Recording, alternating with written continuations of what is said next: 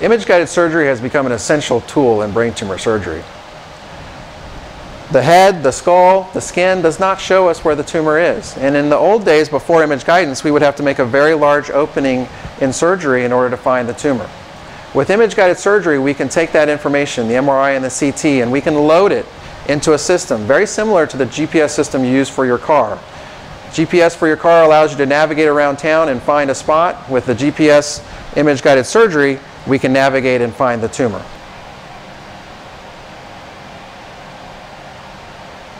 Like GPS, there are some very important components. The first part is the camera. The camera here emits an infrared light. This light shines down and reflects off these small reflective balls. This antenna is attached to the operating room table. It does not move. It serves as a reference. With that reference, we can then bring in the pointer. And the pointer, again, has these reflective balls. And so that we can point to spots on the skull, on the scalp, and that will then reference back to the camera and load in to the computer. Our image guidance system here shows different images that provide us a three-dimensional picture. So that as I bring the pointer in and the camera sees that pointer, I can find the tumor and find a path that's safe to go into the brain. That way I can make a smaller, safer opening to find the tumor and remove it.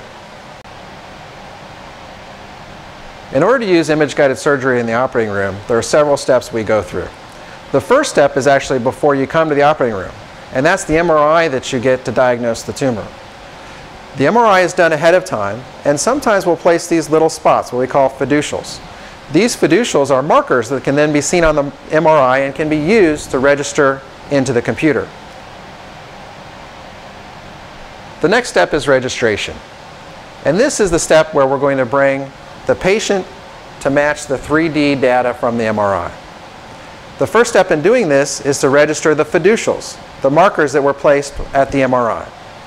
And we do that by pointing to the fiducials with our pointer. The camera sees the pointer and the antenna and matches those in the 3D map. Another way that we register the patient is by using the surface anatomy of the skin. Using this device, the camera can see the surface anatomy. And it takes multiple spots that you can see filling up on the, skin, the scan there to obtain an accurate registration. Once that registration is obtained, we can then navigate to find the tumor. Now that we've registered the patient, we can use our GPS to find the tumor. And we can navigate and map out the tumor on the scalp so that I can make the smallest opening possible. This allows me to perform my craniotomy. And nowadays I can make the smallest opening into the bone to allow me to work into the brain, find the tumor, and remove the tumor.